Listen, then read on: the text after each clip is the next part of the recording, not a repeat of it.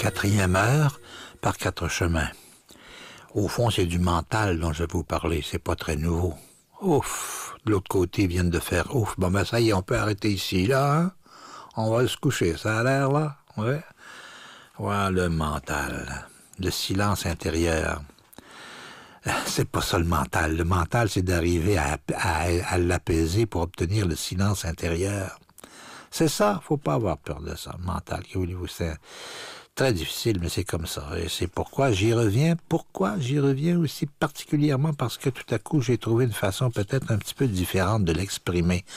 Et c'est pas en partant d'un auteur, de, la façon dont l'auteur l'exprime, qui est Éric Sablé, heure E-R-I-K-S-A-B-L-E accent aigu, d'un tout petit bouquin paru chez Dervy de RVY qui s'intitule Les mécanismes du moi et le silence intérieur. Quel beau programme, le silence intérieur, qui est la condition pour que naisse une réalité spirituelle.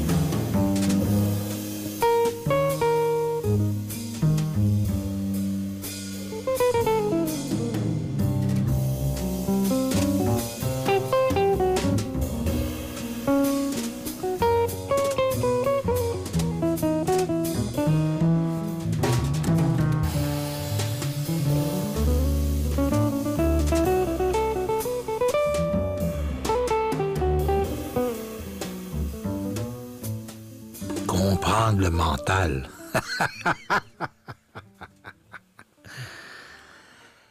faut alors le définir.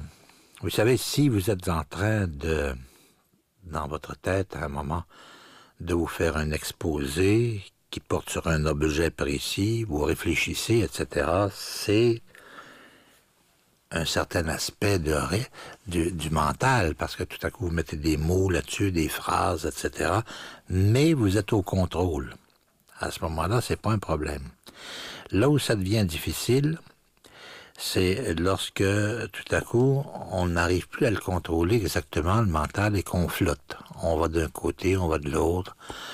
Ah, j'ai oublié de placer la voiture au bon endroit, la porte est mal fermée, qu'est-ce qui se passe? Tu, tu parles, il y a un bavardage et non pas une réflexion qui se fait avec des mots, avec des, des phrases même à certains moments, contrôlées, mais le bavardage, c'est ça dont on parle maintenant. C'est comment faire pour arrêter ce maudit bavardage dans la tête.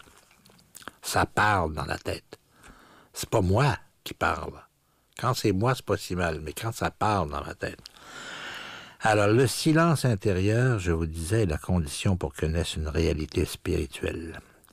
L'esprit doit être vide du monde et de son image. Ah, ne me regardez pas, je sais que c'est difficile. Hein? Ils vont me lancer des, boules de papier, d'après ce que je comprends. Bon. Alors, vide du monde et de son image, libre de l'agitation des pensées du tumulte des émotions pour que la présence se déploie au sein de l'être. On pourrait dire la présence à soi également. Hein? À coup, tu es présent à toi. Bon. Cette présence est le plus intime, le plus secret. Euh, je ne sais pas pourquoi c'est au masculin. En tout cas, c'est comme ça. Là. Ce qui ne se montre, parce que j'en passe des bouts, évidemment, je reconstitue l'ouvrage. Voilà. Euh, elle est alors voilée par les préoccupations quotidiennes et toutes les formes de l'extériorité, et puis là, on n'est pas dans le silence. On est dans le bavardage. Pour cela, tant en Orient qu'en Occident, rappelle notre auteur ici, qui est Éric Sablé, S-A-B-L-E, accent aigu, dans Les mécanismes du moi et le silence intérieur, aux éditions d'Hervé, un tout petit bouquin. Donc, pour cela, tant en Orient qu'en Occident, l'agitation mentale est considérée comme l'obstacle majeur à la naissance d'une vie spirituelle authentique. Ça va loin, ça. Le flux des pensées errantes qui occupent constamment le champ de notre conscience n'est donc pas un phénomène superficiel sans conséquence, comme le croit la vision du monde matérialiste de notre époque, mais la source de toutes les illusions. Le mental exerce un réel envoûtement qui nous plonge dans un état de rêve perpétuel. Et le silence intérieur est la porte qui nous ouvre à la présence du soi, à l'unique réalité, R majuscule, bien sûr. Pour faire naître ce silence, beaucoup de maîtres préconisent un effort de maîtrise. Il s'agit d'arriver à contrôler l'agitation mentale en restreignant le flux des pensées en le fixant sur un objet particulier. c'est dit autrement que je le dirais, moi. C'est bien pour ça que je vous le, rapporte comme ça. Hein. Alors, ils disent un objet particulier, comme par exemple le souffle, une bille de couleur, le bleu du ciel, une sensation, la flamme d'une bougie. Concentrer l'attention là-dessus et retenir le cheval sauvage qui est dans votre tête. Pauvre bête. Mais, même si la concentration volontaire est un aspect important du travail sur soi, rejeter le mental sans tenter de le comprendre est une attitude pour le moins étrange. Les disciples qui le considèrent comme un ennemi, tout en, ignorant le fonctionnement de cet ennemi, engagent une lutte sans fin. Ce combat amène d'ailleurs une tension peu propice au développement de la quiétude intérieure. il est important de s'interroger sur le mental. Qu'est-il, d'où vient-il, que cherche-t-il, quelle est sa fonction? Et il est étonnant que peu de personnes engagées dans une démarche spirituelle s'interrogent sur les raisons de l'agitation des pensées. C'est vrai. Je n'ai trouvé de textes intéressants là-dessus. Euh, quelques-uns occidentaux, et, mais plutôt orientaux, je veux dire, et qui ont beaucoup, beaucoup travaillé là-dessus. Ici, on parle des textes indiens qui comparent souvent le mental à un animal féroce. C'est en comprenant sa véritable nature que nous pourrons l'approcher, peut-être l'apprivoiser, et nous ouvrir au silence.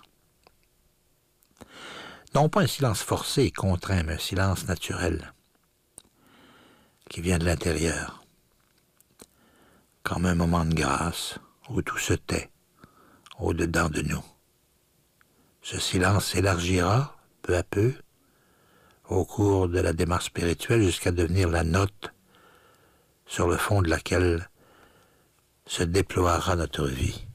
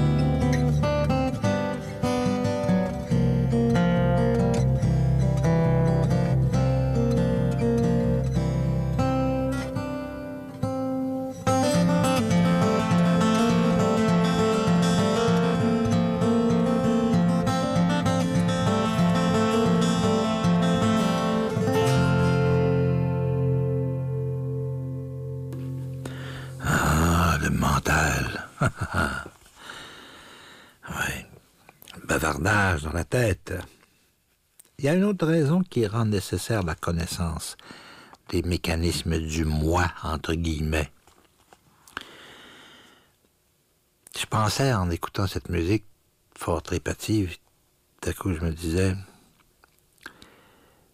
la difficulté que j'ai eue, il a fallu pour essayer de saisir ce que je suis en train de vous raconter là. Il a fallu qu'à un moment, je fasse vraiment l'exercice de fermer les yeux, de m'asseoir tranquillement et de voir, de, m'entraîner à regarder fonctionner le mental. Et si vous l'avez fait ou si vous le faites, vous savez déjà ou vous apprendrez que la formule un âne ivre est la bonne formule qui est employée par les, les hindous. L'âne ivre. On est tous habités par un âne ivre. Et pour être plus moderne, pour dire d'un âne stone, ça vous amuse. L'être qui pratique la méditation peut expérimenter toutes sortes de beaux états, de profonde absorption, de béatitude, de plénitude extraordinaire, mais ils ne sont pas la réalisation et ils laissent en fait le moi inchangé. Si on n'a pas développé parallèlement une vision claire des mécanismes de l'ego, l'ego peut prendre des formes subtiles et même utiliser l'énergie de l'expérience spirituelle, etc. Bon. L'ambition, une soif de jouissance démesurée, la colère, certaines formes de délire et surtout, et surtout, oh, l'orgueil et la vanité, qui peuvent prendre des formes très subtiles. Puis plus on cherche à s'en débarrasser, plus c'est subtil et insaisissable. Alors, qui sont amenés à la surface, ces délires-là, pour occuper totalement le champ de la conscience. Ce qui explique le cas de ces enseignants qui sont lumineux et pourtant infantiles dans leur comportement, leurs réactions emplies d'orgueil ou d'idées délirantes. Tiens, curieux. Bon, l'histoire de la spiritualité est jalonnée de tels parcours où un visage du moi reste invisible. Caché dans les replis de la psyché, se révèle et envahit totalement un être qui devient de ce fait un faux prophète, conduisant les autres à l'abîme. La pratique de la concentration, le développement de la quiétude intérieure sont indispensables, car un esprit dispersé ne peut rien. Mais, parallèlement, on devra apprendre à connaître son moi pour en découvrir les méandres, en comprendre les mécanismes subtils. S'il veut la vraie liberté, qui est la liberté du sage réalisée, sans tomber dans les multiples pièges qui s'ouvrent sur le chemin. Intéressant tout ça, mais peut-être un peu vague, ça va se préciser, vous allez voir. Le silence intérieur est la source de la vraie liberté, la voie d'accès à l'unique réalité. Mais il ne faut pas se leurrer. Nous tenons par-dessus tout à nos imaginations. Nous tenons à nos, remémorations, à nos fantaisies, à nos idées, telles qu'elles s'expriment dans le maelstrom du mental.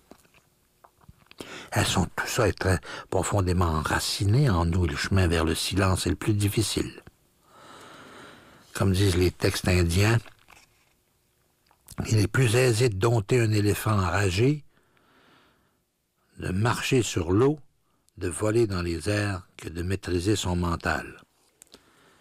Et comme, je, comme me disait un de mes amis à qui je racontais ça un jour, en donnant à peu près ces exemples-là, il dit, je ne sais pas, j'ai jamais essayé de dompter un éléphant enragé. C'est donc pas correct. Hein. C'est donc pas comprendre ce que je voulais dire que c'était une métaphore, vous comprenez? J'ai pas non plus essayé de marcher sur l'eau. Ou de voler dans les airs. L'homme devra s'investir totalement dans cette quête, être porté par ce mystérieux désir de lumière, ce feu qui pousse à chercher, à s'interroger sans relâche, à poursuivre l'investigation, quels que soient les obstacles, sans se laisser abuser par les multiples illusions qui se dressent sur le chemin. Entre tous les moyens qui concourent à la libération, disait Shankara, un des grands gourous indiens, c'est à l'ardeur que revient la place d'honneur.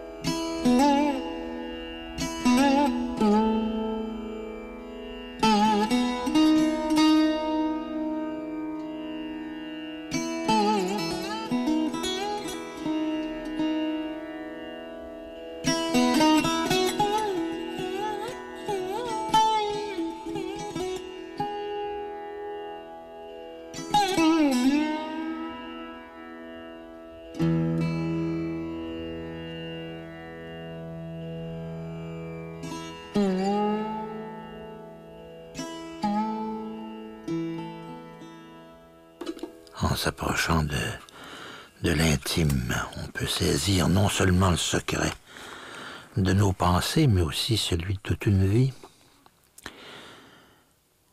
Ainsi, une seule pensée révèle par analogie le fonctionnement de toute chose, puisque le même processus se répercute en fait à travers la totalité des formes du cosmos.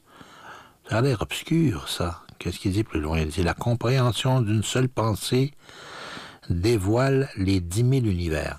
Dix mille en chinois, on peut dire, ça veut dire tout. Toutes les parties, tout, pas l'univers unique, là, mais tout ce qui est multiple dans l'univers. La compréhension d'une seule pensée dévoile les dix, les dix mille univers. Nous sommes dans notre petit laboratoire intime. Pour cela, pas besoin d'instruments compliqués. Notre attention suffit. Tout est là, immédiatement présent. Nous sommes installés dans un certain état de recueillement, de présence à soi, de silence. Car paradoxalement, c'est le silence qui permet de saisir en profondeur le bruit des pensées. C'est seulement quand on amorce ou qu'on entre dans le silence d'une certaine façon qu'on dit Oh my God, qu'il y avait du vacarme là-dedans. Hein? Puis c'est trop tard, on se trouve à plus être rentré parce qu'on on, on est retombé dedans. Au fond, tout ça se révèle par contraste comme des vagues de cette eau paisible qui nous enveloppe lorsque nous sommes établis dans un certain silence. Tout est dualité dans le devenir. La lumière se détermine toujours par rapport à l'ombre, le mental révèle son fonctionnement lorsqu'apparaît sur le fond silencieux, lorsqu'il apparaît, pardon, sur le fond silencieux de l'être immobile. Entre le vacarme et le silence, on se trouve là. C'est ça qu'on est en train de décrire maintenant. C'est ainsi que pourront se révéler les secrets de la pensée. Bon. C'est seulement une fois établi dans le silence et le vide qu'on pourra comprendre le moi. Ce recueillement, cette distance naissent et se développent par l'attention. Alors ici, il prend euh, une technique, il fait appel à une technique, je devrais dire plutôt, euh, orientale qui est très simple, c'est euh, l'attention au souffle. Je respire, je expire, j'inspire, j'expire. Il y a des très beaux textes comme ça, de présumément de, de, Bouddha, mais qui sont écrits par des gens qui ont suivi un peu hein, ses élèves, ses disciples. C'est très chouette là. Je respire, j'inspire, je, je respire, etc. Ce recueillement, cette distance naissent et se développe par l'attention au souffle, c'est-à-dire en prenant conscience du parcours de la respiration à travers le corps. L'esprit se pose sur le souffle, tout en demeurant présent, centré, recueilli au cœur de lui-même, et la pensée se trouve rejetée à la périphérie. Ah Encore là, tiens, une façon nouvelle de l'exprimer quant à moi. Elle devient, au fond, la pensée devient un épiphénomène se joint à l'extérieur, sans que le jeu de la présence soit emporté. Parfois, je vois ça un peu comme un chien fou un peu plus loin, qu'il faut tenir à distance pour rester dans la paix. Par l'attention au souffle, un espace de silence se développe, et le moi peut maintenant être observé de la même manière qu'on observe une table ou une chaise, comme si on n'était pas là. Le moi est objectivé, posé à l'extérieur, comme on pose un objet pour le percevoir et en comprendre le mécanisme. En fait, il se produit un curieux dédoublement du regard, un texte intéressant, je vous assure, parce que quand on a fait pratiquer ces, techniques-là, on se dit comment exprimer ça, puis là, c'est une façon, une façon parmi d'autres. Bon, mais tout de même, très bonne. Il se produit un moment un curieux dédoublement du regard. À l'intérieur, nous sommes conscients de ce fond de présence, en même temps que des pensées qui émergent se déploient dans l'espace mental et qu'on cherche, si vous voulez, à éliminer, mais sans faire d'effort, simplement en y renonçant, si j'ose dire. Hein. C'est une subtile division entre la part témoin qui observe et celle observée.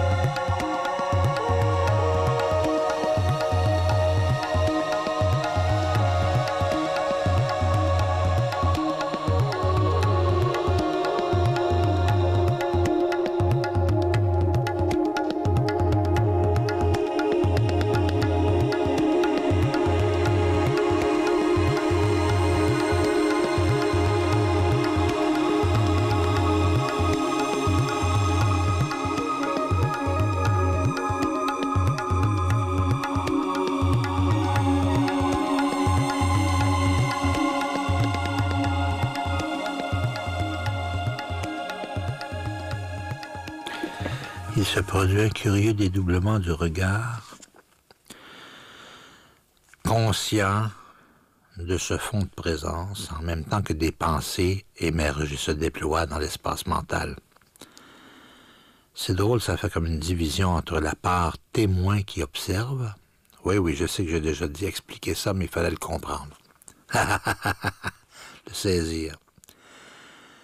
C'est une subtile division entre la part témoin qui observe et celle observée. Car, en apparence, du moins, il existe bien deux formes de conscience. D'une part, la pure présence d'être, lumineuse et claire, d'autre part, la conscience égotique, égotique, oui, intrinsèquement liée aux modifications mentales. Et c'est en s'appuyant sur la pure présence que l'on peut prendre suffisamment de distance avec euh, les modifications mentales. Il est donc nécessaire à la fois de ne pas se laisser emporter par le flux de l'agitation mentale, mais sans être complètement absorbé dans des états d'intériorisation, ce qui nous empêcherait de percevoir le jeu des pensées. C'est pas le moment à cette étape-là de disparaître dans le euh, dans l'absolu, pour ainsi dire. Nous devons toujours maintenir la distance, cependant, qui rend possible la pratique de notre investigation. Puis là, on cite euh, un lama de grand abattage, c'est évident, qui parle de la voie progressive et qui dit si la conscience témoin qui examine est trop forte, la conscience moi disparaît. C'est intéressant de penser aussi qu'il y a comme deux niveaux de fonctionnement et qu'un fonctionnement observe l'autre, etc. Ça, ça suppose déjà une très grande distance. Parce que vous savez, si vous dites à des gens, essaie simplement de comprendre que ça parle dans ta tête. Ils vont dire, comment ça, ça parle dans ma tête? Il ne peut pas savoir que ça parle dans sa tête parce que ça parle tout le temps. Ah, il ne peut pas savoir que c'est particulier. Hein? Alors, c'est un état d'attention globale. Global. Un autre point très important, non centré Bon, maintenant ici, il y a toujours une question d'étape aussi. Si par exemple, à un moment, la, pensée, euh, euh, l'attention plutôt est, centrée sur la, euh, sur la respiration, évidemment, elle est centrée sur quelque chose. On ne peut pas dire que c'est non centré, mais vous allez voir qu'à un certain moment, vous allez continuer d'être attaché à la respiration, mais que vous allez avoir une espèce d'attention élargie, comme globale. Alors là où la, présence est simplement présente à elle-même. La conscience, pardon, qu'est-ce que j'ai? C'est tard, hein, là? Ah que oui, on est en fin de soirée, c'est comme ça. Sans être fixé sur rien de particulier, attentive aux pensées et aux émotions qui surgissent, sans les juger, sans les accompagner, en demeurant simplement en retrait peu à peu, on saisit de plus en plus clairement ce qu'est le moi. Il se profile à la surface des pensées et se révèle étroitement lié au flux mental. Il ne se laisse pas facilement percevoir, mais on peut réussir à le repérer et tenter de l'isoler du mouvement des pensées auquel il est intimement lié je peux vous dire que le bonhomme qui a écrit cet ouvrage-là, qui s'appelle Éric Sablé, sait de quoi il parle, parce que c'était... Pour entrer dans ces détails-là, il faut avoir visité ce pays-là. Hein? C'est comme ça qu'on peut en parler. Le mieux. Alors, comme ça, on peut arriver à voir le désir, la colère, la souffrance se dérouler de manière impersonnelle, comme un objet lointain.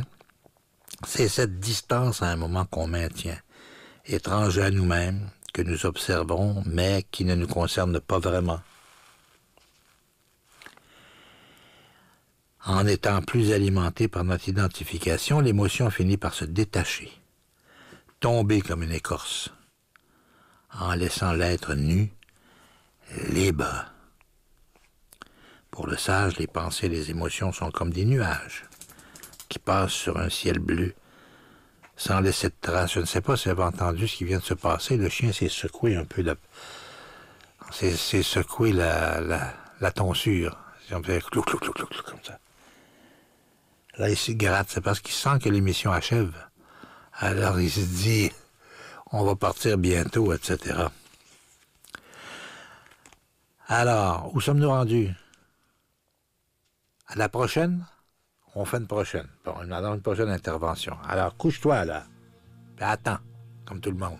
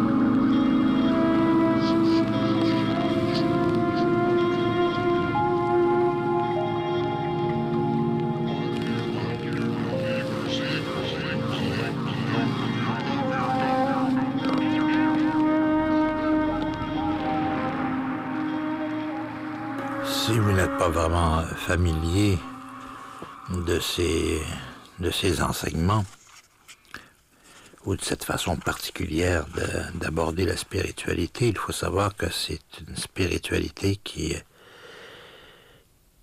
qui ne comporte à peu près rien d'abstrait. C'est même d'une certaine façon très technique. Comme par exemple si je dis le tir, le tir à l'arc, est une technique de méditation, eh bien tout ce que je viens de vous dire maintenant s'applique très bien au tir à l'arc, parce que tu faut que tu bandes l'arc, etc., que tu, vois le point, etc. Il y a toute une espèce de, de concentration de l'attention, si vous voulez, sur le moment ou les moments qui se succèdent dans l'exercice du tir à l'arc. Et pour être réussi, il faut maintenir l'attention jusqu'au bout, le silence jusqu'au bout, le vide. De temps en temps, on dit le silence, de temps en temps, on dit le vide. Ça dépend de qui vit l'expérience, comment, etc. Euh, mais ça dépend aussi du genre d'expérience. Parfois, on est obligé de prendre d'autres mots. Avec la pratique, en tous les cas, il y a d'abord, si vous voulez, une compréhension du moi qui est analytique, qui à un moment se synthétise, qui à un moment devient une vision globale, intuitive. Les mécanismes de la personne nous apparaissent de plus en plus clairement. D'un seul regard, nous saisissons à la fois ce qu'est le moi en son essence, la nature de ses poursuites et son caractère illusoire. Au début, cette compréhension ne reste pas. Elle est aussi brève qu'un éclair fugitif. Flash, sic, tu sens quelque chose, et ah, ça doit être ça. Mais ça disparaît pour renaître chaque fois, même si cela n'est pas apparent, la compréhension s'approfondit un peu plus. Elle grandit. À force de se répéter, elle finit par devenir comme un réflexe qui accompagne le processus mental.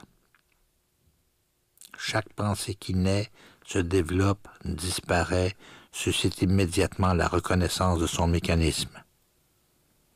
Nous savons ce qu'elle est, ce vers quoi elle tend, etc. Alors, peu à peu, la distance se creuse avec le mental.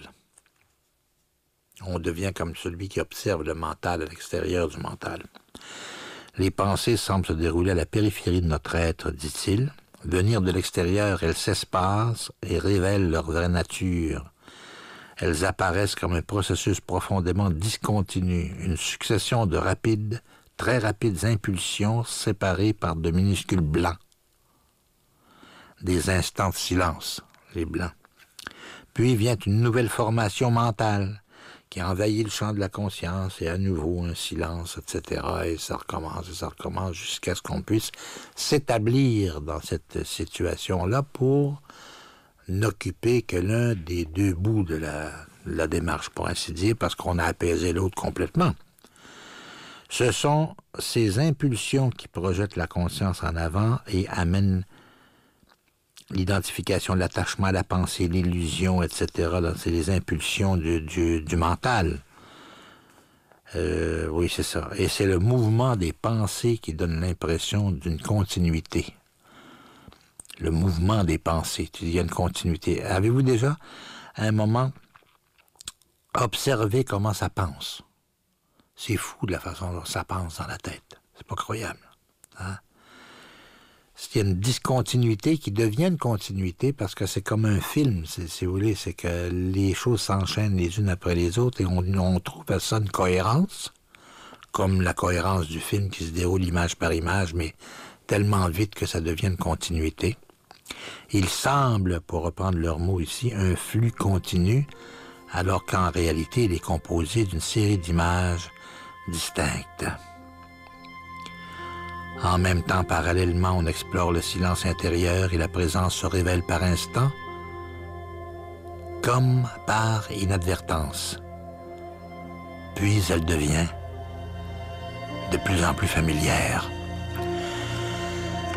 Petit livre euh, qu'intitulé Les mécanismes du moi et le silence intérieur aux éditions d'Hervé de RVY de Éric Sablé, S-A-B-L et accent aigu. Je dois dire que c'est probablement un des ouvrages euh, peu ambitieux d'ailleurs. Il n'y a que, que euh, un peu plus de 70 pages, hein, mais qui est très très précieux de ce point de vue-là parce qu'il s'attaque vraiment à cette question-là. Bon, quant à nous, eh bien, on, la relation transcendantale se poursuit toujours grâce à Nicole Dumais. Euh, l'animation, Jacques Languirin ne sait pas faire autre chose. Donc, il anime la réalisation et la mise en onde de Marc Fortin. Dimanche prochain, 20h. Maritime, 21h. Tiens, il reste plus maintenant qu'à se préparer à partir, à terminer cette émission. Cette émission qu'on va terminer. Alors, vas-y, t'es censé aboyer, là, à ce moment-ci. Ah, ah, ah, ah. Eh bien, il aboie pas. J'ai l'air d'un fou ou d'une corde. Ah, c'est terrible.